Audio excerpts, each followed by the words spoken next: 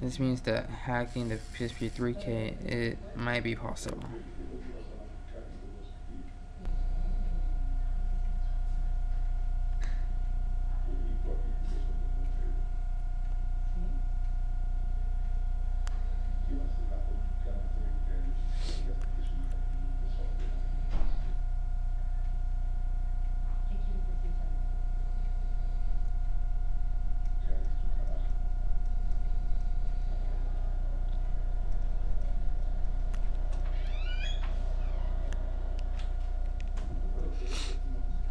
There it is.